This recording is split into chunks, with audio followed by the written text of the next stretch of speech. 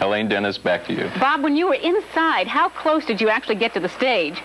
I got close enough to see Tom Selleck through a couple of heads there, but it was a madhouse. It was really tough to get up there. I, I got about as close as we got two years ago, which wasn't too close. no. Bob, tell me this. Uh, you've been following the movies and the, and the personnel all year long. Were there any surprises for you?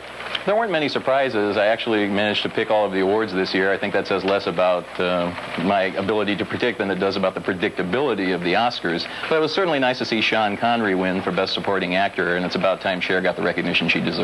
You know, Bob, Dennis saw one movie this year. It happened to be The Last Emperor, so oh, I know how to pick I know how to pick him. It's the last Thank you, Bob. that was Bob Shaw reporting from Los Angeles.